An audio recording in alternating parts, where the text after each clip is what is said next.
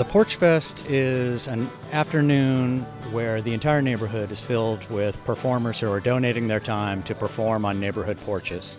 This year we have about 220 acts, and they are uh, appearing on 220 separate porches. It all adds up to about a thousand volunteers.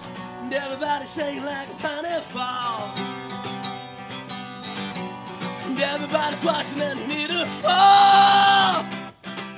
I don't live in this hood. It's not my spot. But um, it feels like the neighborhood that you grew up in. It, it feels like a good place to be on Christmas morning. And I, I dig that. I, the, the vibe here is really nice.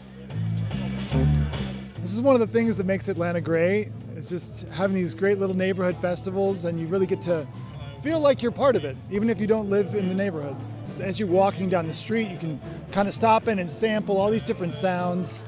It's like an audio buffet, you know, you just all you can listen to. It's alright, have a good time, 'cause it's alright, whoa, it's alright.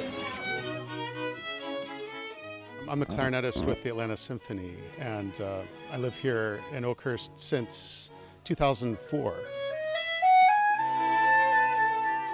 I mean, sometimes you you know you, you're on stage and you see the audience and they're a little bit uh, anonymous. So it's great uh, to play things like this where it's your neighbors and friends, and you know just to have people who maybe wonder if I'm employed to see what I what I do sometimes.